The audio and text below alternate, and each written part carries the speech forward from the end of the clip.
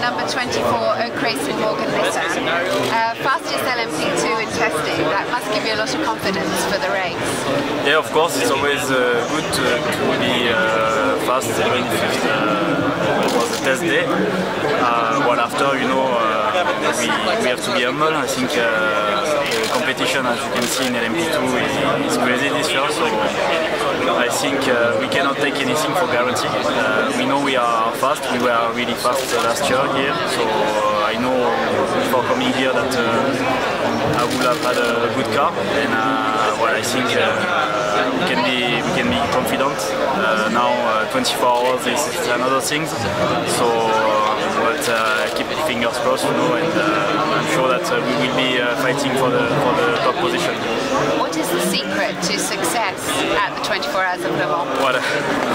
Uh, first I think uh, you have to finish. Uh, we we need a, reliable car. you know, things can happen, you know, so it's a hard race.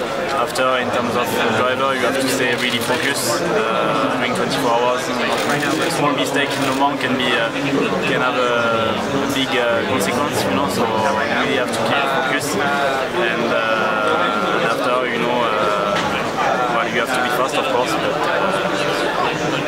yeah, I think uh, the most difficult things is uh, to, uh, to, see what uh, what the, the, other will do and uh, if we we're to be reliable or not. So I think we are, but you know, as I say, 24 hours, it's, it's always difficult. Thank you, Olivier. Good luck.